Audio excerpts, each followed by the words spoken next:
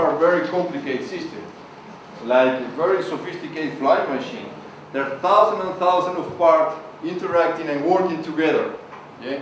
And it can go from one side to the other side very fast. Actually, a 747 can go in a matter of seconds.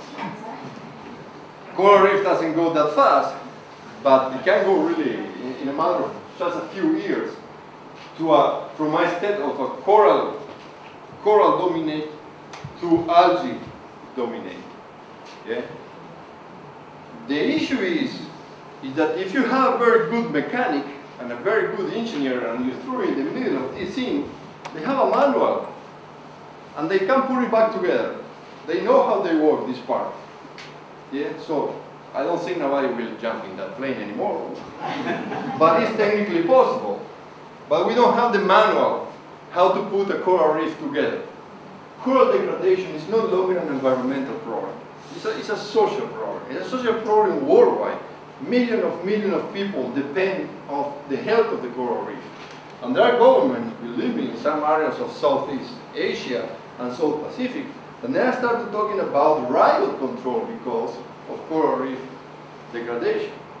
That bad as go. And of course, it's not the case of Bonaire, but still, Bonaire depend on their network, especially the health of the coral reef for, for their growth. Okay? So we have to stop talking about coral reef degradation as an environmental problem. Every time we frame the coral degradation in an environmental problem, we are isolating the problem from, from us. We think, oh, it's an environmental problem. Let us STINAPA take care of that.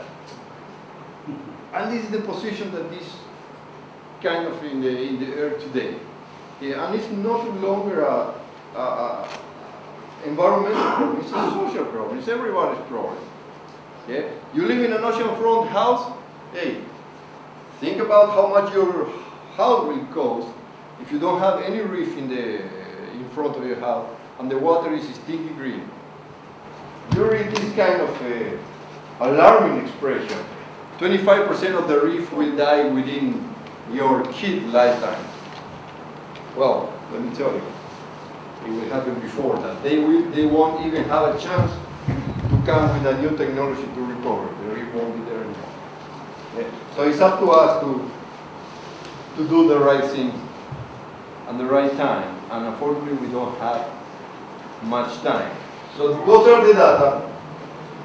This is what is happening. you can believe it or not. You can, we can believe it and do something, or we can think that it's just data. It is not happening that we scientists are a bunch of uh, crazy people trying to alarm and scare people away. So this is my presentation for today. Thank you very much.